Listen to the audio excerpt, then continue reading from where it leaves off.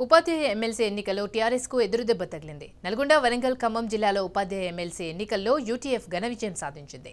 ఐక్య ఉపాధ్యాయ సంఘం అభ్యర్థి అలుగుబెల్లి నర్సిరెడ్డి గెలుపొందారు. సిట్టింగ్ ఎమ్మెల్సీ టీఆర్ఎస్ బలపరిచిన పీఆర్టీయూ అభ్యర్థి పూల రవీందర్ ఓటమి చవిచూశారు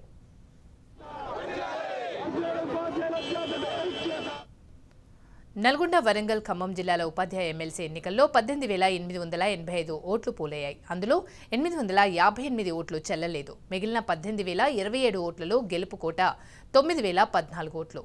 మొదటి ప్రాధాన్యతతో పాటు రెండో ప్రాధాన్యత ఓట్లను అలుగుబెల్లి నర్సిరెడ్డి అత్యధిక ప్రాధాన్యత కనపరిచారు. సిపిఎం అనుబంధ ఉపాధ్యాయ సంఘం యూటీఎఫ్ అభ్యర్థికి ఎనిమిది వేల తొమ్మిది వందల డెబ్బై ఆరు ఓట్లు పడ్డాయి. టీఆర్ఎస్ బలపరిచిన పీఆర్టీయూ అభ్యర్థి పూల రవీందర్కు ఆరు వేల రెండు వందల డెబ్బై తొమ్మిది ఓట్లు వచ్చాయి. దీంతో తొలి ప్రాధాన్యత ఓట్లలో మ్యాజిక్ ఫిగర్ చేరకపోవడంతో రెండో ప్రాధాన్యత ఓట్లను లెక్కించారు. రెండో ప్రాధాన్యత ఓట్లలో యూటీఎఫ్ అభ్యర్థి నర్సిరెడ్డి ఘన విజయం సాధించారు.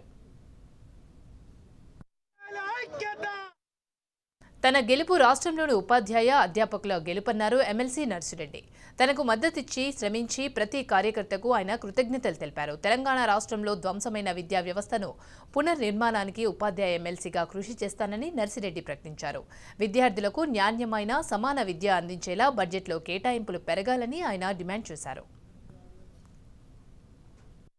తెలంగాణ రాష్ట్రంలో విద్యారంగం మొత్తం కూడా ధ్వంసమైపోయింది. ఆ విద్యారంగాన్ని పునర్నిర్మాణం చేయడానికి ఎమ్మెల్సీగా నా వంతు కృషి ఉంటుందని చెప్పి ప్రచారంలో బాగా చెప్పాను.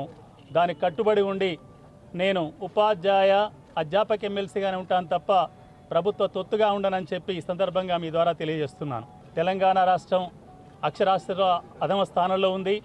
కానీ అదే ప్రైవేటీకరణలో మాత్రం భారతదేశంలోనే ముందు స్థానంలో ఉంది. దాన్ని తలకిందులు చేయాల్సిన అవసరం ఉంది. ప్రభుత్వ విద్యారంగాన్ని బలపరిస్తే తప్ప అభివృద్ధి చేస్తే తప్ప తెలంగాణ ప్రజలకు మంచి విద్య నాణ్యమైన విద్య సమాన విద్యమైన విద్య అందించే అవకాశం లేదు. అందుకొరకు బడ్జెట్లో కేటాయింపులు పెరగాలి. విద్యారంగంలో మౌలికమైన మార్పులు రావాలి. ప్రభుత్వ పా ప్రాథమిక పాఠశాలలో పూర్వ ప్రాథమిక విద్య ఏర్పాటు చేయాలి. మన అత్యున్నతమైన సుప్రీంకోర్టు కూడా సమాన పనికి సమాన వేతనం ఇవ్వాలని చెప్పి తీర్పు ఇచ్చింది రెండు సంవత్సరాలు గడిచింది. ఈ ప్రభుత్వం వచ్చి ఐదు సంవత్సరాలు పూర్తవుతుంది. అయినా నేటి వరకు ఒక కాంట్రాక్టు ఉపాధ్యాయుడు కానీ అధ్యాపకుడు కానీ ఏ ఉద్యోగి కానీ రెగ్యులర్ కాలేదు. ముఖ్యమంత్రి గారు ఐఆర్ ఇస్తా అన్నారు పిఆర్సీ ఇస్తా అన్నారు ఎన్నికలు అయిపోయినాయి మళ్ళీ రెండోసారి ముఖ్యమంత్రి అయినరు. ఐఆర్ లేదు పిఆర్సీ లేదు.